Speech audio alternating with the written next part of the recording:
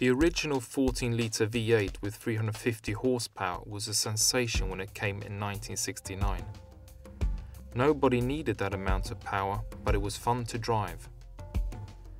The engine established itself as a rugged workhorse that kept running seemingly forever. In 2000, the output had risen to 530 horsepower and the 14 litre was replaced by the 16 litre with up to 580 and 620 for Euro 4 and Euro 5. The new V8 is added to the Euro 5 range and is based on a new platform that permits considerably higher outputs.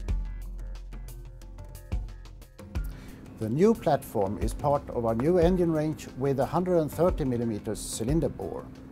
The first engines, the 9 and the 13 litre engine, were launched in 2007. The idea was, of course, to create a modular engine range that could use the, all technologies for the future challenges to come.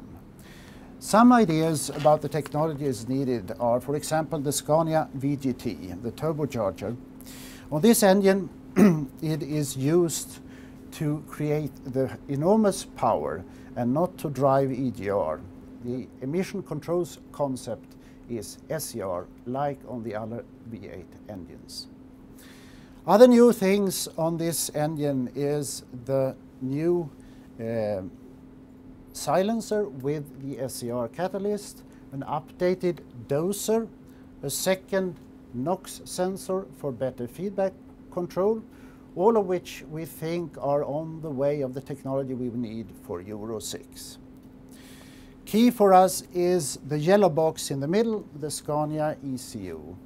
The Scania ECU contains uh, updated software for combustion control and the new controls for after treatment, that is emissions control.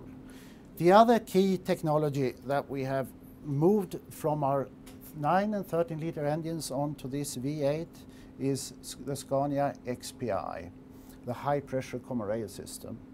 Here you see it implemented on the V8 engines.